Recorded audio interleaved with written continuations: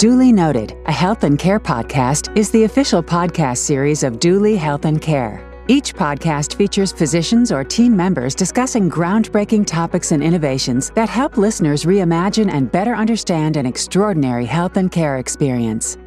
As allergy season seems to be year round these days, many people wonder why their allergy medication no longer works or doesn't work as well as it used to. Dr. Andrey Leonov is here to discuss why this could be happening to you, as well as the best ways to treat seasonal allergies. He's an allergy, asthma, and immunology specialist. This is Duly Noted, a health and care podcast. I'm Cheryl Martin. Dr. Leonov, delighted you're on today. Thank you. It's a pleasure to be here as well. About 25% of the U.S. population has seasonal allergies. So please explain what seasonal allergies are and how they differ from other types of allergies. Seasonal allergies are basically a immune response to things like pollen or mold spores that are present in our environment and are airborne on a seasonal basis. For example, when trees pollinate primarily in the springtime here in Midwest, or when grass pollinates a little bit later in the spring and summer, or when weeds and the ragweed and other plants may be pollinating later in the summer and, and into the fall, as well as mold spores that may be present also on a seasonal basis. Those are in the, our environment and we end up inhaling them. And if our immune system is set to overreact to them rather than quietly ignore them, then this overreaction causes the symptoms that we call symptoms of seasonal allergies. And the symptoms typically are, as allergy sufferers very well know, are congestion, itching, sneezing, mucus production, all of that stuff. And a person who suffers from allergies year round.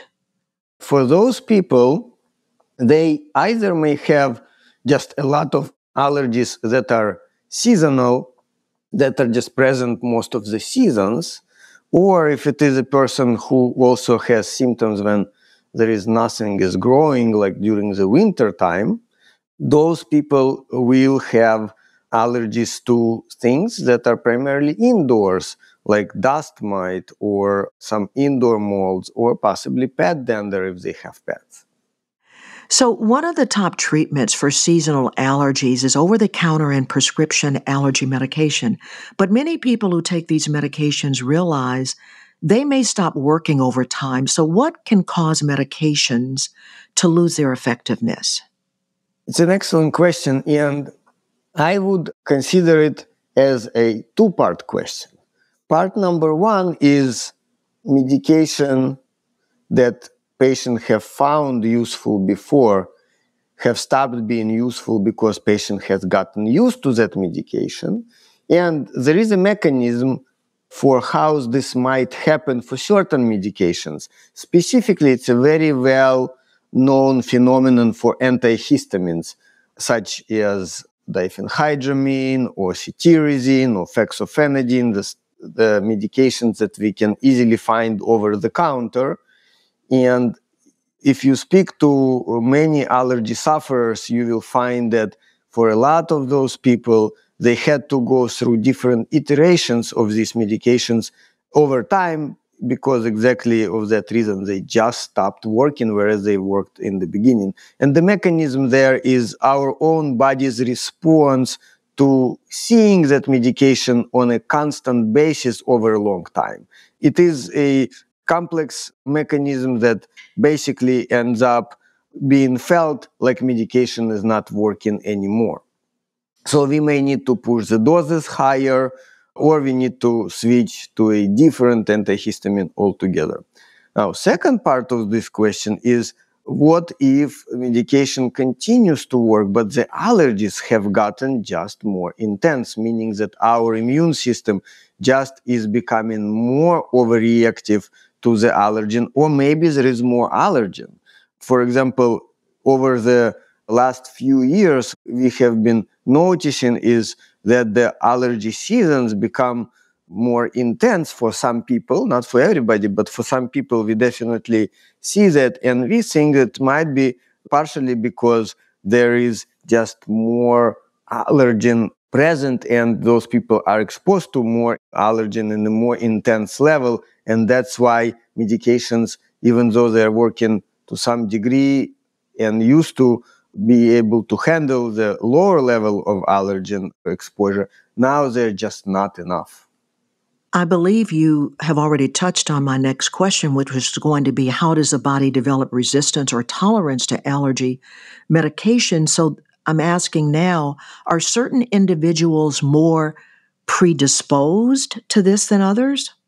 We think that there is definitely personal predisposition that is probably has to do with individual metabolism, either of the medication or the receptors that the medication is being used on. The short answer is yes. So, are there any specific allergy medications that are more likely to lose their effectiveness? We see that uh, more with uh, antihistamines.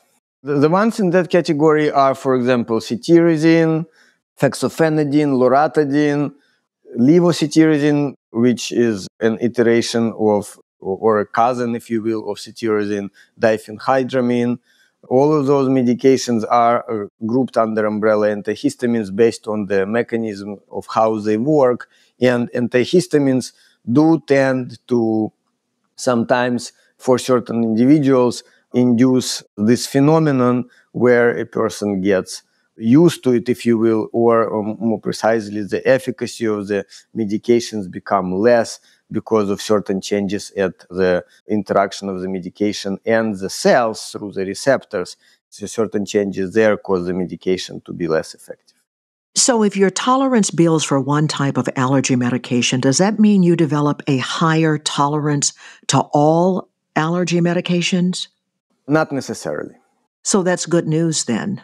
It is a good news in a way. The problem here is we do not have a lot of categories of the medications for allergies that you know we can pick and choose from. So there are intranasal steroids, which are your usual uh, nasal sprays that we use. There are also antihistamine nasal sprays, and then there are antihistamine tablets, and then there are a few others that are not used as often, but also could be effective, like anti-leukotrienes. However, two major categories of the medications, which are antihistamines and nasal steroids, those are the more widely and commonly used and if a person develops a level of tolerance to antihistamines, then they may be only left with nasal steroids for efficacy. Hmm, okay. So, doctor, how can allergy sufferers determine if their medication is no longer working effectively? What are some signs they should look out for? Well, primarily it's how well are the allergies controlled as they go through their usual allergy season. If they find that they have difficult time getting the symptoms under control with what used to control the symptoms well, then definitely part of the answer to the question why is this happening would be possible development of tolerance to the medications. So, what advice would you give to those who are struggling now with allergy symptoms and they're finding little relief from their current medication? What other treatment options are available? There are several treatment options that we have to choose from.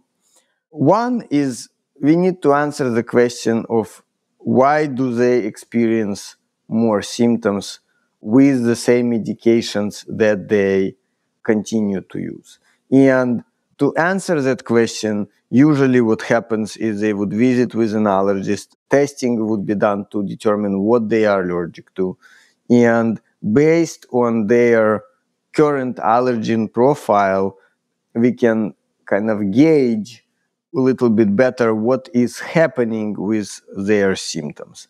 Then, if we think that it is the tolerance that is being developed, we can choose from another class of medication. For example, instead of antihistamines, we can try nasal steroids. And we can also guide the patients in terms of limiting their exposure to the allergen, best done in a specific manner once we know what they are allergic to more precisely after the testing.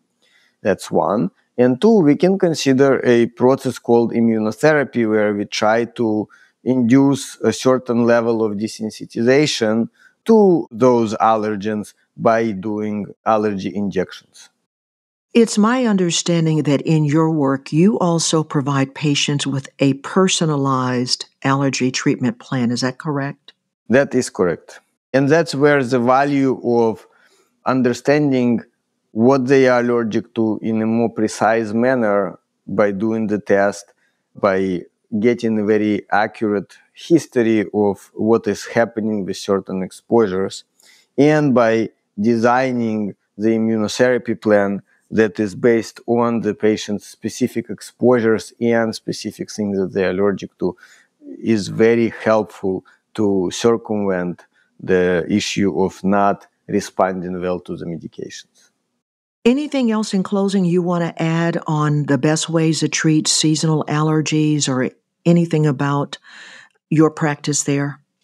What we do as allergists and what we pride ourselves upon is very precise and thorough investigation of what person's specific allergies might be and how to develop that personalized plan for allergy treatment. The best way to approach seasonal allergies or even non seasonal allergies are to have a detailed look at the symptoms and the triggers, and then have a complex, multifactorial, or multifaceted approach to management of this allergy from multiple angles. One angle is controlling the exposure. Second angle is controlling the symptoms, and that's where medications become very handy. And understanding of what works and what doesn't work and why becomes also very handy there.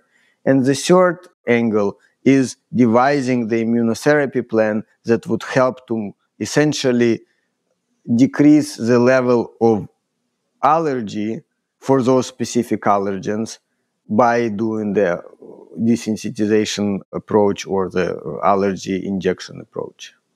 Dr. Andrey Leonov, thank you so much for sharing your expertise on seasonal allergies and also just talking about the best treatment plans. Thank you so much.